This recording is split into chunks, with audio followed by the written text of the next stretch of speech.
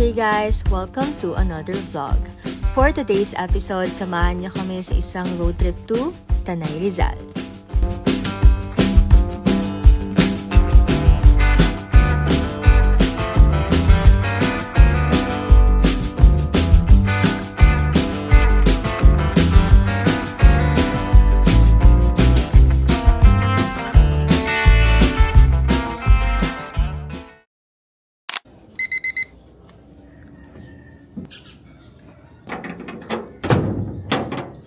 Good morning guys! We decided to go on a road trip during a weekday para hindi masyadong crowded yung mga place na pupuntahan namin today.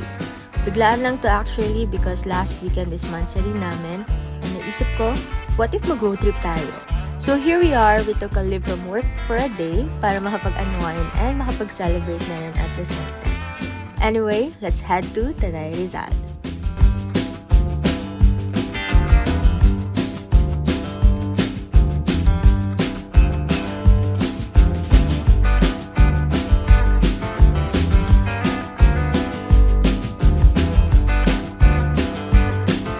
JP and I are really fan of road trips and one of our go-to destination is Tanay Rizal.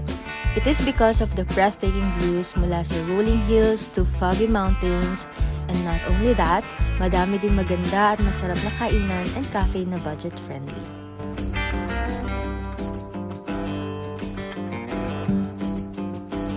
And for me, road trips are indeed a perfect way to relax and find calmness. Maybe because it's our chance to have a quick escape from the chaotic world, to reflect and reconnect.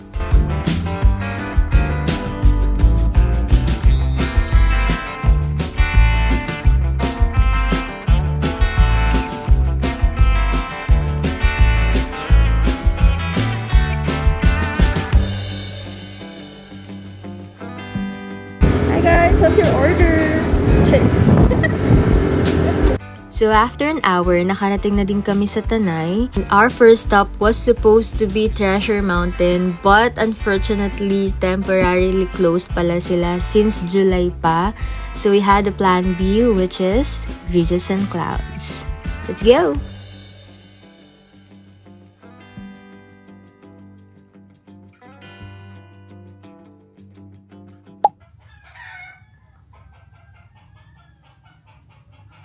Let's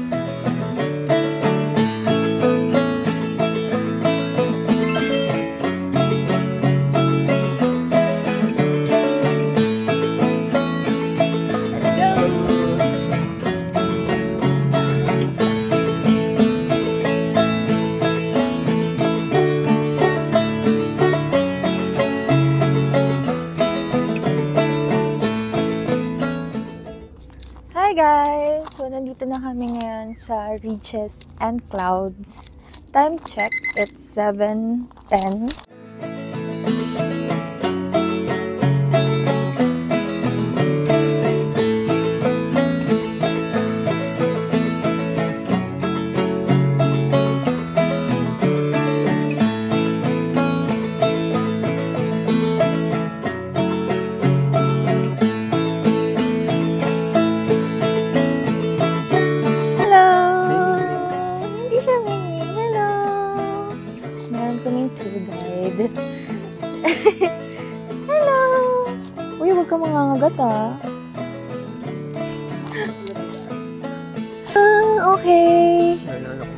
Naalala ko na to. Parang sinerch natin to dati.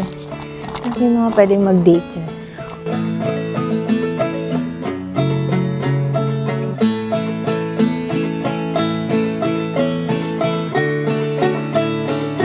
Pakita ko sa inyo yung mga... Ay, ang tawag dyan? Mga kubo. Ayan, for rent naman yan. May mga kubo dyan na may CR and common area. Tapos pwede kayo dyan magpa set up ng mga date tsaka dito sa pwesto namin.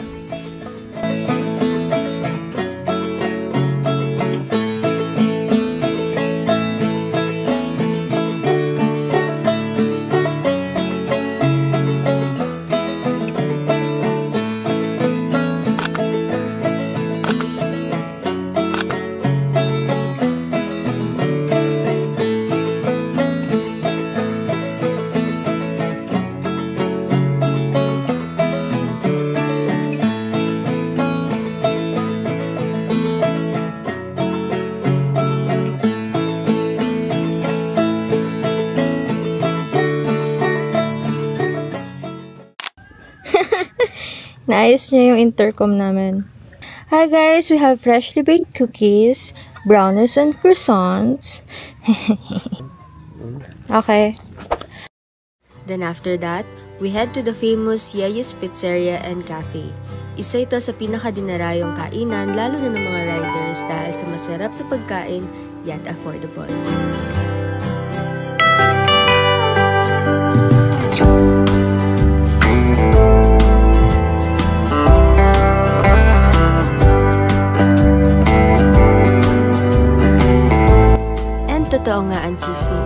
Masarap nga ang food nila and in fairness, malaki din ang servings. And for sure, babalik kami and we'll try naman yung ibang food nila sa menu.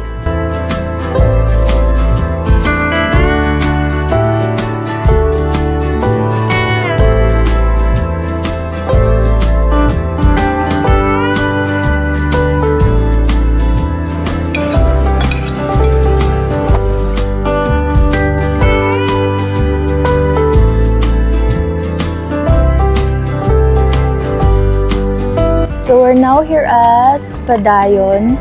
So, after namin kumain dun sa Yeyes Pizzeria and Cafe, dito is for dessert naman. So, sana meron kape or dessert. So, let's go.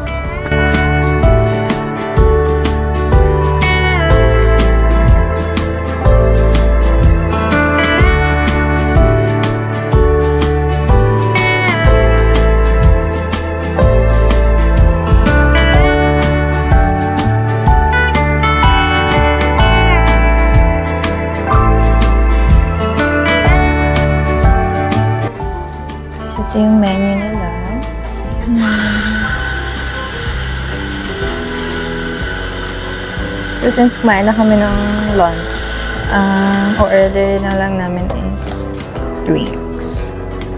So,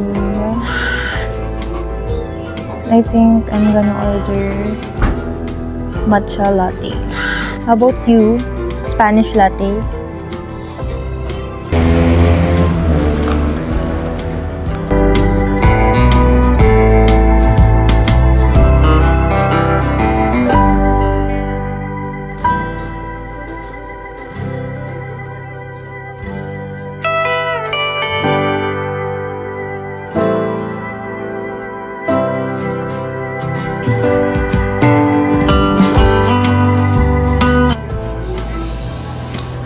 Matcha latte and mocha latte. Mocha latte. Cheers!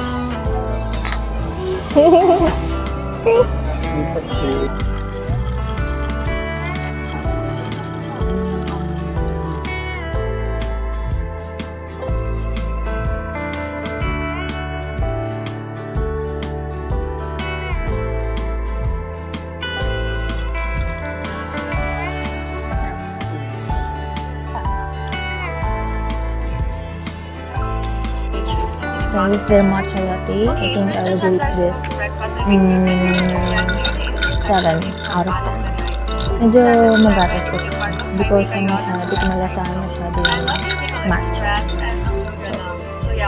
How about you? Pwede ko tikman. Mocha latte. Na hindi niya hinalo. So,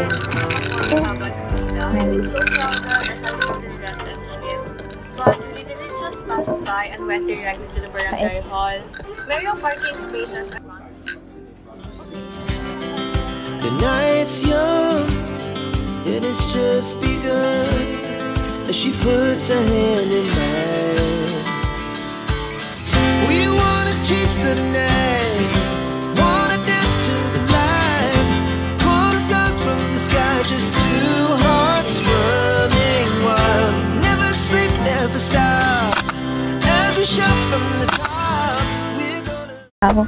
we're now off to Casa Peregrine.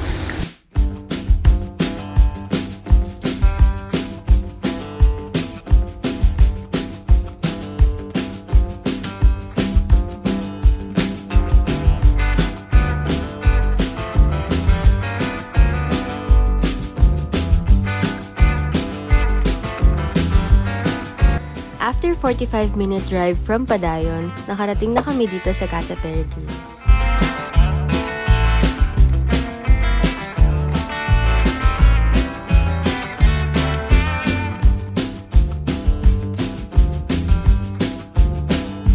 Lagi kaming tumadaan dito every time pumupunta kami sa Tanay. And ang nakakatuwa, every time na pumupunta kami is may mga bago silang attractions and activities.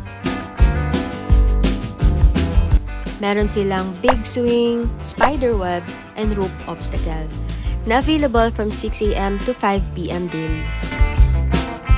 At dahil tirik pa yung araw nung pumunta kami, di namin nasubukan yung mga rope course nila. Hmm, maybe next time. Dahil weekday kami pumunta, madaming available treehouse na pwedeng tambayan at kainan.